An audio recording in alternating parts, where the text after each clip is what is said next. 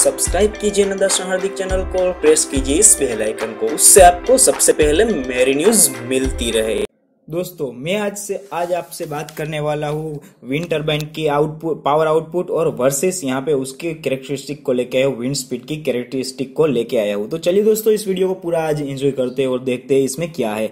तो wind wind में से जब भी कोई भी पावर आउटपुट रहता है, वो पावर आउटपुट यहाँ पे P proportional to V cube के रेट में चेंजेस होता है। यानी कि मैं बात करूँ यहाँ पे तो सबसे पहले मैं आपको दिखाता हूँ, यहाँ पे है पावर वर्सेस में यहाँ पे विंड स्पीड की एक कैरेक्टरिस्टिक दौर लेता हूँ। तो यहाँ पे wind speed meter per second और पावर आउटपुट पी किलोवाट में लिया है। अब जब भी विंड स्पीड में टेन परसेंट का इंक्रीज होगा तब यहाँ पे पावर आउटपुट पी किलोवाट में यहाँ पे थर्टी थ्री परसेंट का चेंजेस आएगा। जैसे कि मैं बात करूँ यहाँ पे तो आपको आ, सबसे पहले दिखाता हूँ यहाँ पे जो आ, ये डिज़ाइन तो मैंने आपको दिखा दी। उसके बाद मैं बात करता हूँ यहाँ पे इलेक्ट्रिकल और मैकेनिकल चीज़ में। यहाँ पे एक रेटेड स्पीड यानी कि पावर की जो एनर्जी है, उसकी एक रेटेड स्पीड रहती है। तो उस रेटेड स्पीड के बारे में मैं आपको आगे दिखाता हूँ।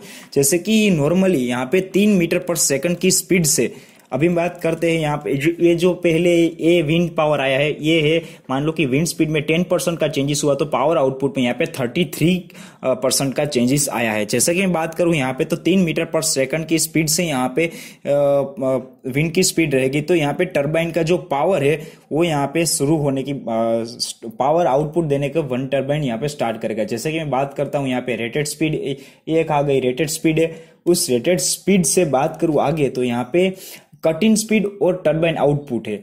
कट इन स्पीड किसे कहा जाता है? यानी कि विंड विंड टर्बाइन की यहाँ पे तीन मीटर पर सेकंड से विंड की स्पीड रहेगी तो उसको कट इन स्पीड कहा जाता है और क्यों कहा जाता है? क्योंकि विंड टर्बाइन है, वो पावर आउटपुट देने का स्टार्ट करता है तब से, तीन मीटर पर सेकंड की स्पीड से विंड जब रहेगी। तो ये हो गया कट इन स्पीड, यहाँ पे हो गया टर्बाइन का आउटपुट। जब यहाँ पे तीन मीटर पर सेकंड से विंड चलेगी, यहाँ पे turbine energy output electricity produce करना स्टार्ट कर देगा। उसके बाद में बात करता हूँ यहाँ पे तीन मीटर पर सेकंड से लेके इलेवन मीटर पर सेकंड।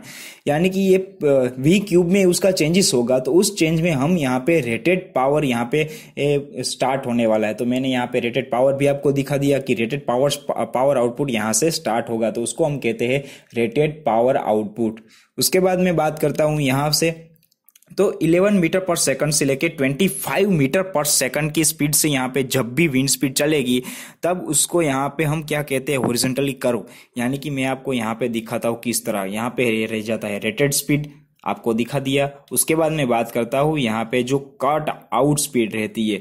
यानी कि जब भी ज़्यादा 25 मीटर पर सेकंड से ज़्यादा की विंड स्पीड चलेगी तो यहाँ पे कट आउट हो जाएगा जनरेटर यानी कि आगे पावर पावर प्रोड्यूस करना बंद कर देगा जनरेटर क्योंकि वो सबसे ज़्यादा स्पीड हो गई है विंड की। तो यहाँ पे हो गया वो कट आउट स्पीड उसके बाद मैं बात करता हूँ यहाँ पे तो curve curve C curve C किसे कहा जाता है? तो पहले ये बात कर लेता हूँ कट इन स्पीड और रेटेड स्पीड ये दोनों के बीच में जो ये दिखा रहा है हमें कर्व उसको हम यहाँ पे इंक्रीज रहेगा और उसके बाद यहाँ पे सी है जो कर्व ये ये रोटर आरपीएम हो गया। यानी कि जब कट इन स्पीड से रेटेड स्पीड रहेगी, तब तब आरपीएम यहाँ पे इंक्रीज होगा जनरेटर का। उसके बाद रेटेड स्पीड से लेके कटआउट स्पीड तक आरपीएम रोटर का वो कांस्टेंट कांस्टेंट ही रहने वाला है। तो ये पूरा का पूरा यहाँ पे वीडियो था। अगर आपको इस वीडियो में कुछ समझ में नहीं आ रहा है तो आप मुझे कमेंट कर सकते हो।